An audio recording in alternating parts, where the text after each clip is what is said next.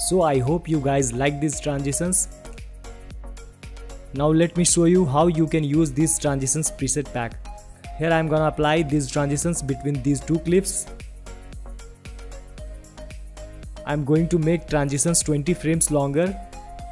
So go 10 frames backward from middle of these two clips. Press and hold shift key and press 2 times left arrow key to go 10 frames backward. Select razor tool and make a cut. Now go 20 frames forward and make another cut. Now let's import the preset pack. Go to effect tab, right click, import presets. Select the preset downloaded folder. Select preset and click on open. I have already imported the transitions pack.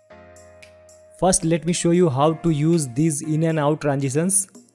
Select these glitch transitions Select any of them. Apply out transition to first cutted clip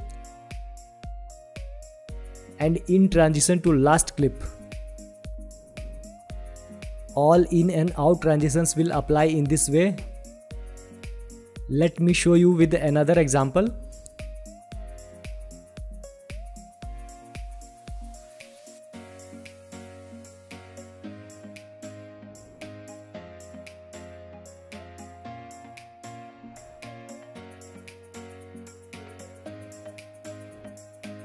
Now to apply bloom, lens flare and stretch echo transitions, you will have to nest the cutted clips. So here I am going to nest these two clips. Now simply apply the transition to nested sequence, that's it.